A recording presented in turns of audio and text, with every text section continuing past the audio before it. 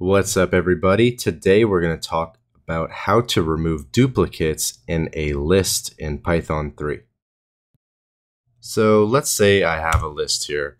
Uh, I don't know why, but the first one that came to mind was hey bro bro.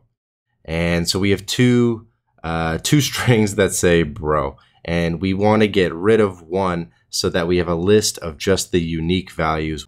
How do we do that? Um, I'll just give you the answer straight up off the bat. The easiest way to do this is list, set, and insert a in there. And here we get our unique values. So what's going on? First, we wrap it in a set, which returns all the unique values, and then we wrap it in a list uh, so that what we're returning is in fact a list.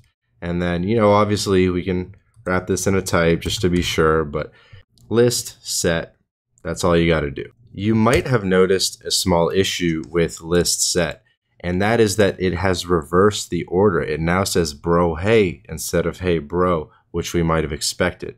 So we got our uniques, which is good, but we didn't get the right order. I'm going to tell you there is another solution. That solution is list dict dot from keys a.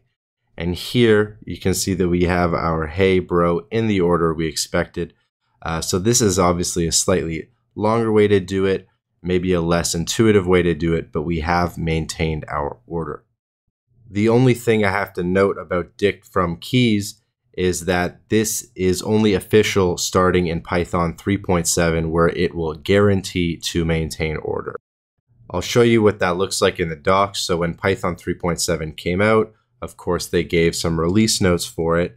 And for Python data model improvements, they state that the insertion order preservation nature of dict objects has been declared to be an official part of the Python spec. Guido made it so dict keeps insertion order is the ruling. So those are your best two options. If you don't care about order, use list set. It's probably faster as well in terms of execution.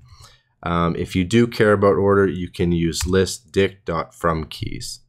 There you have it.